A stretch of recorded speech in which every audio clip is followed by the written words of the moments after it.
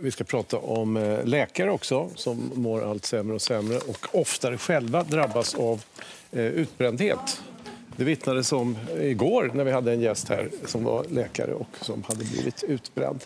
Vem tar hand om sjukvårdspersonalen som ju ska ta hand om andra när den blir sjuk? Välkommen hit Jill Taube. Du är psykiater som startade Facebookgruppen Vem tar hand om doktorn?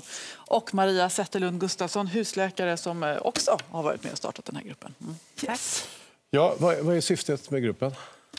Det började så här att vi båda eh, träffade patienter, kollegor, en del gamla kursare som är stressade och inte mår bra. En del har brakat in i den berömda väggen. Vi är båda ska säga, eh, hälsofreak och jobbar mycket med fysisk aktivitet, träningsresor. Mm. Så vi tänkte att vi skulle göra en resa för och kollegor. Det var en påtaglig ökning?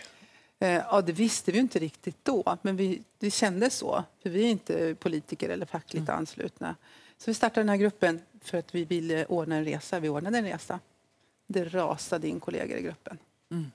är det extra är det speciellt att själv vara i vårdsvängen och, liksom, och, och bli svag?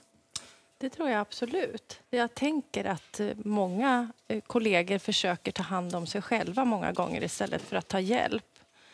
Lite kanske som eh, ett bra exempel om du är en personlig tränare och inte, inte känner att du är tränad nog så kan det vara svårt att leva upp till på något sätt att, att vara en förebild. Mm. Men på samma sätt om sjukvårdspersonalen inte kan ta hand om sig men samtidigt ska prata om hur man tar hand om sig själv så, så mm. blir det jobbigt att vara en som inte klarar det och samtidigt försöka lära ut det till andra. Mm. Men det, det, har ju ökat just eh, sjukskrivningarna med olika former av stressdiagnoser mm. i befolkningen som helhet. Ja, och en stor grupp är just kvinnor framförallt som jobbar i de här samvetsyrkena, där är ni i offentlig sektor.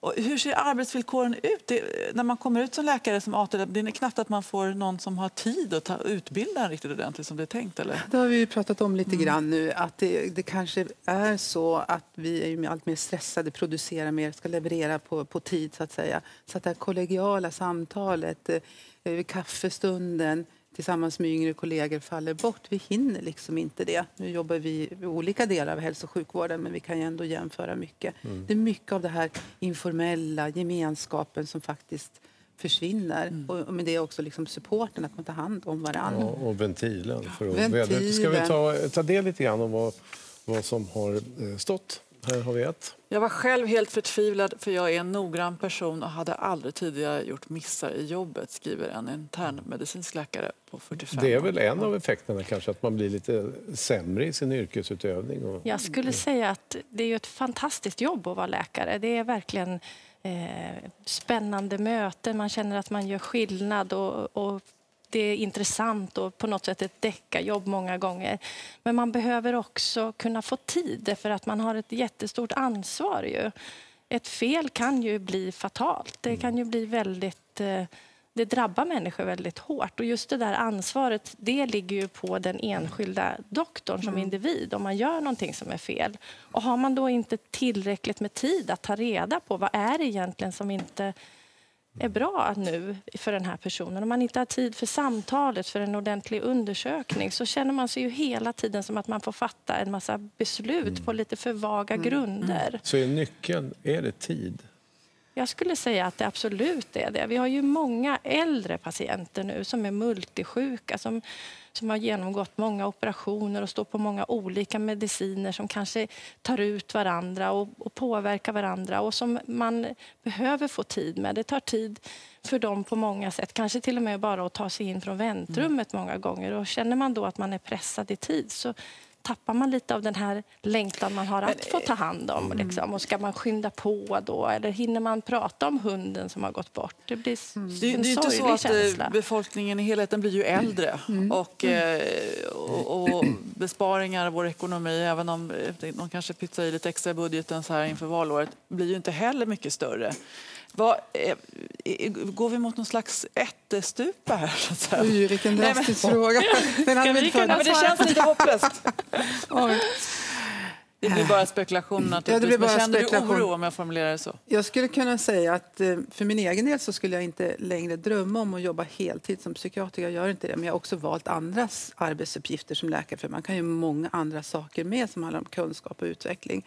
Men när jag väl är i produktionen så upplever jag inte en ättestupa, men jag upplever väldigt eh, tajta möten där jag inte hinner möta patienten. Eh, och försvinner det mänskliga i det, då kanske det blir en slags, i alla fall känslomässig ättestupa. Både för patienten, mm. nu pekar jag på er, det var inte meningen, och för mig själv som doktor. Jag blir dränerad. Jag har sagt lite spydigt i en sammanhang där jag varit att varför har ni en dyr doktor här? Ersätt mig med en enkät, för jag ska ändå bara säga exakt de här sakerna på exakt den här ja. tiden.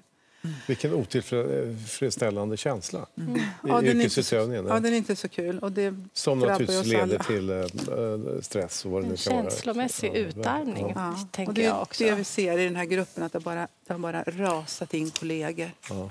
Vi skriver tid här, ja. resurser. Gemenskap och, och ja. kollegialt samtal, omhändertagande får ni också skriva. Ja, det låter som att det skulle gagna samhället som helhet. Det tror vi. Ja. Tack snälla för att ni kom hit och delade med er. Tack